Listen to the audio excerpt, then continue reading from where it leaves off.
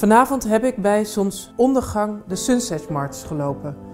Deze oversteek over de brug van de Waal in Nijmegen vindt elke avond plaats. Elke avond loopt een veteraan deze Sunset March. En vanavond heb ik dat samen met de jongeren van het CDA gedaan. En ook met andere veteranen die hebben aangesloten. En het is heel belangrijk om dit te doen, omdat met deze mars herdenken we al die geallieerde militairen die zich ingezet hebben voor de bevrijding van Nederland, die daarvoor gevochten hebben.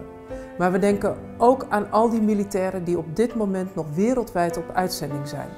En vrede en veiligheid is namelijk niet vanzelfsprekend. Het is niet iets wat we voor lief moeten nemen. En het is zeker niet gratis. En vanavond dacht ik ook aan mijn collega's in Afghanistan die zich ook hebben ingezet voor de vrede en veiligheid van de Afghanen.